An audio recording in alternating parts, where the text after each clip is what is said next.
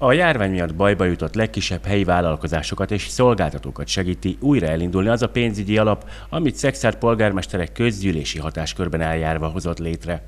Az alapban eddig 5 millió forint van, ez az összeg a megfelezett képviselői tiszteletdíjakból jött össze, a megyei jogú város vezetője pedig szintén utal majd a számlára minden hónapban a saját tiszteletdíjából, de helyiek és cégek felajánlásait is várják. Ezt fel tudják használni vagy pályázati keretben, vagy pedig pályázatokhoz önerőként. Ennek a kidolgozása a gazdasági kerekasztal dolga és felelőssége. A tervek szerint néhány hónapon belül akár 100 millió forint is lehet az alapban.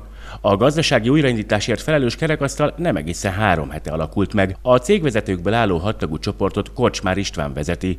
A munkát teljesen ingyen Szexárd és a szexárdiak érdekében végzik. Az eddigi elképzelései között szerepel például egy úgynevezett szexárd kártya bevezetése, amivel helyiektől vásárolva kedvezményt lehetne kapni. A cégvezetők emellett a saját vállalkozásaik munkavállalóit is ingyen adják kölcsön a szexárdi önkormányzatnak, hogy a pályázatokban jártas szakemberek munkájukkal segítsék a helyi mikrovállalkozókat egy-egy központi tenderen való induláskor.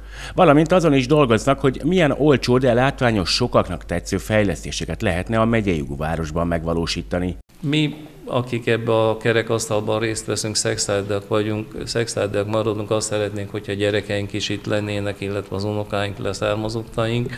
Mi semmi másért nem csináljuk ezt, hogy, hogy ez a város még élhetőbb, még kedveltebb legyen.